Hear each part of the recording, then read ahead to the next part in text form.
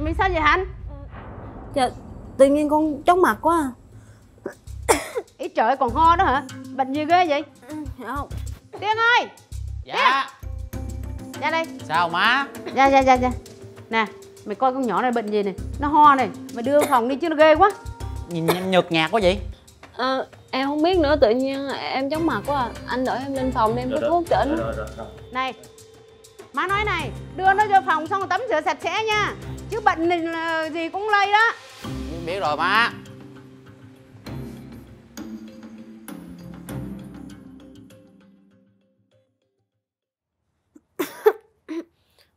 Ừ, Chào cô. À Thư cô nói nghe này. Dạ. Tháng này á Cô không có lấy tiền phòng con ha?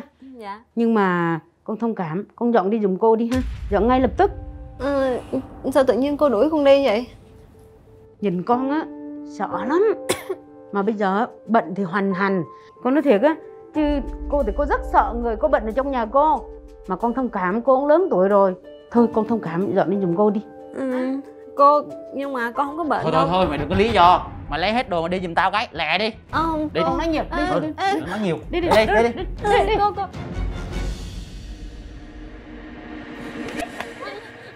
Cô Cô Cô cô thơm ủa sao vậy? Em không biết nữa Tự nhiên cô đuổi không cho em ở nữa. Ủa làm gì đó em? Hồi sáng này á Em mệt quá cái xong cái em ngất. Xong cái cô kêu em bệnh hoạn Không cho em ở nữa đuổi em đi. Trời đất ơi gì kỳ cục vậy? Bây giờ em không biết đi đâu hết á. Đi đâu có gì? Bây giờ việc đầu tiên của em á là đi gặp bác sĩ đi. Người nó phờ phạt à nhìn không ổn đâu. Dạ. Đi.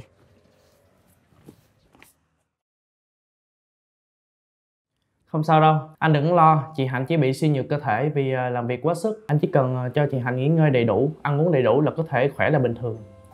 dạ Dạ cảm ơn bác sĩ ạ. Cảm ơn bác sĩ nhiều ạ. Rồi vậy thì an tâm rồi nha. Bây giờ à, tranh thủ anh à, đưa em đi tìm nhà trọ mới. Chứ ở đó không được đâu. Dạ. đi cảm ơn bác sĩ thưa bác sĩ em đi ạ. Dạ chào bác sĩ. Chào mọi người.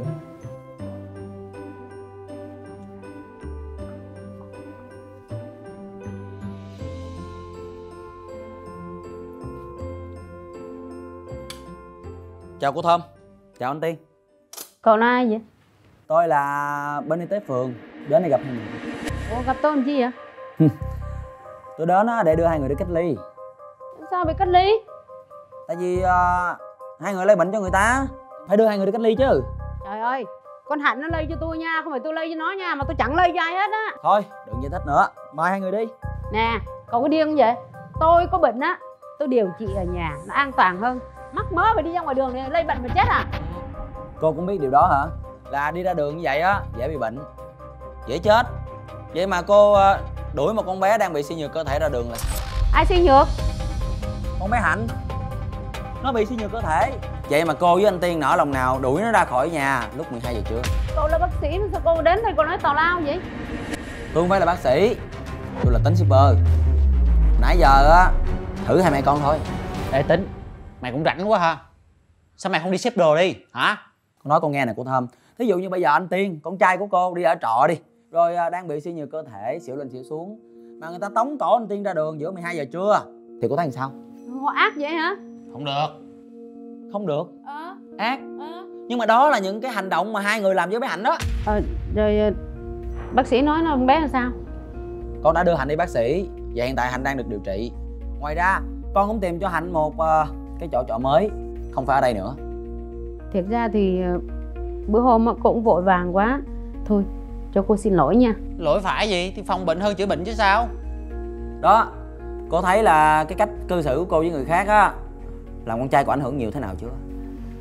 Thôi cô biết lỗi rồi cho cô xin lỗi nha Tính. Cô xin lỗi con làm gì? Thật ra người cô cần xin lỗi là bé hạnh kìa. Hy vọng á là sau chuyện này cô đừng có đối xử như vậy với tất cả những người ở trọ nữa. Họ ở trọ họ khó khăn lắm rồi mình chỉ nên giúp đỡ người ta thôi cô à. Cô biết rồi. Thôi làm gì cao thượng lắm bà tôi không cao thượng đâu anh tiên. Nhưng chí ít thì à, tôi cũng là một người à, sống có tình người. Hy vọng á là hai người hiểu gì tôi nói Dạ đừng quên, tôi là tính shipper. Dạ giới tính shipper thì không có gì là